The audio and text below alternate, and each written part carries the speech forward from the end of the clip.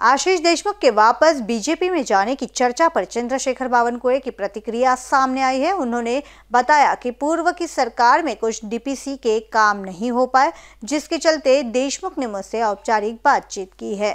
आशिष देशमुखजी केवळ माझ्याकडे औपचारिक पद्धतीने काल माझं बोलणं की त्यांना डी पी सीतनं अत्यंत महत्त्वाचे तीन चार कामं आहेत.